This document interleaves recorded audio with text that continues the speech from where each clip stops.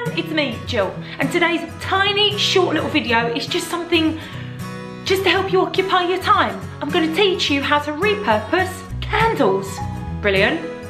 First of all, you're gonna gather together all your almost empty candles. It's a good idea to try and kind of categorize the smells. For instance, cinnamon, Christmas, pumpkin, those types of things. Then all of your florals, keep those together too, okay?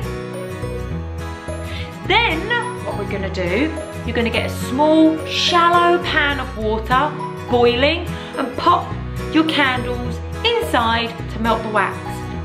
While all of this is going on, you want to prepare where your melted wax is going to go. You're going to take some super glue and super glue the little wick piece onto the bottom of the jar. Then you're going to wrap the end of the wick around a pencil. What does this do? It keeps the wick nice and straight. Let me show you. Like this. Once all of your wax is melted, you can pour it into your jar. And the only thing to do then is wait for it to set. Once it's set, trim off the wick and you're good to go.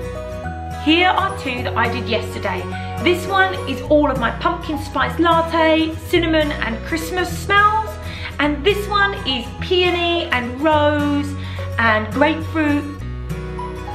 And they'll all just combine together. Repurposed candles.